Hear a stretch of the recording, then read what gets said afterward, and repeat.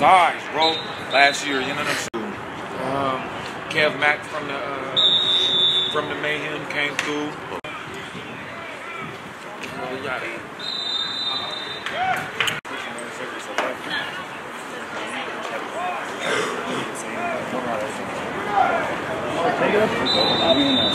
Woo!